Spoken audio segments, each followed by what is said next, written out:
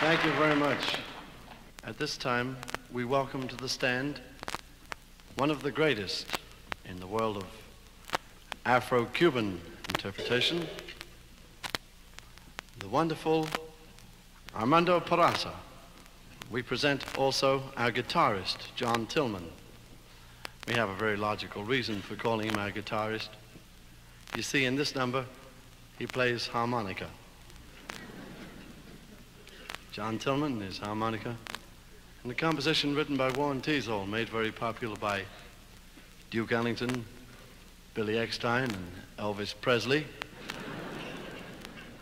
the immortal and very picturesque Caravan.